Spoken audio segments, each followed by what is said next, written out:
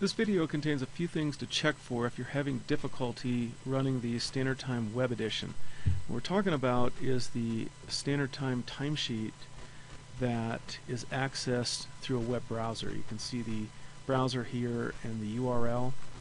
Back to IIS, this is the web server configuration tool that you would use to set up the Standard Time Web Edition. It is called Internet Information Services or IIS.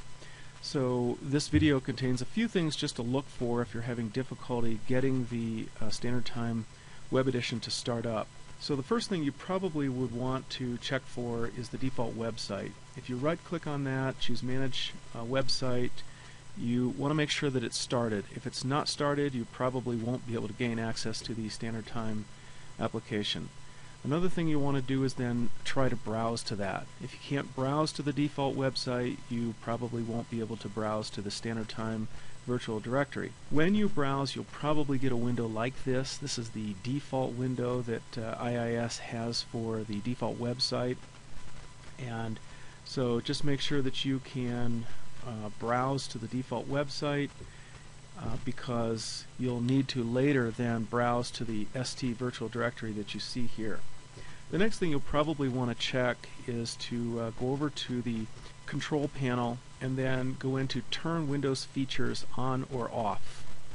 And so this dialog box pops up underneath the Internet Information Services. You then have World Wide Web and then underneath that application development features. Make sure that you have ASP.NET turned on and enabled, ISAPI and filters. Make sure you have default document and static content. So those are just some of the things you have to make sure that are turned on on the Windows features in order for IIS to serve up the standard time application.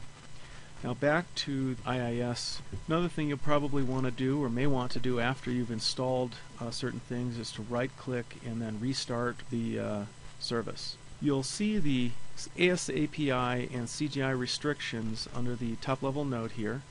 Go ahead and double click on that and depending on whether this is a 64-bit machine or 32-bit you'll see a different path name. Make sure the correct one is allowed for ASP.NET.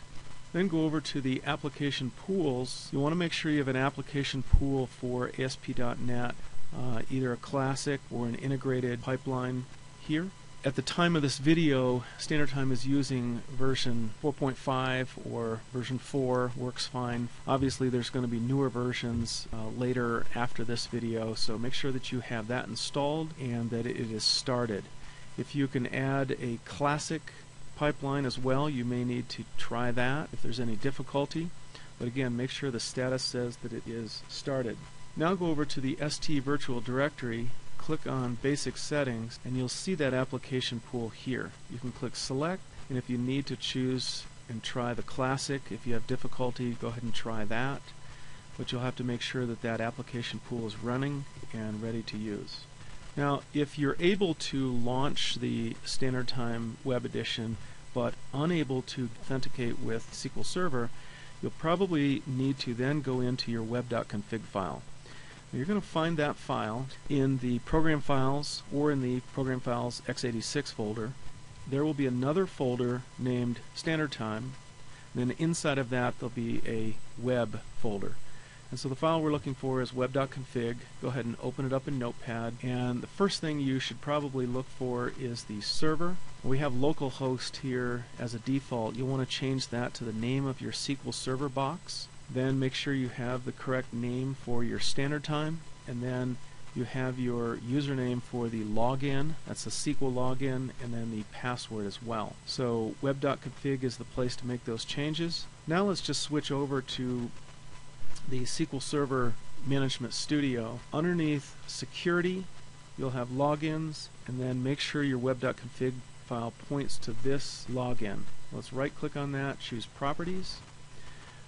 Make sure that it has SQL Server Authentication and that you have SQL Server and Windows Authentication both enabled for this server.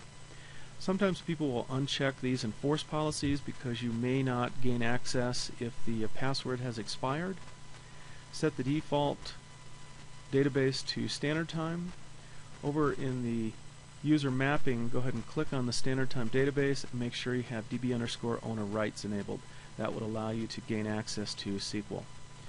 So those are some of the things that you can check. If you have difficulty with that, go ahead and contact the tech support department at Scoutwest, www.stdtime.com. And uh, still having difficulty, we'll go through these options and others and uh, make sure you're up and running. Hope this helps.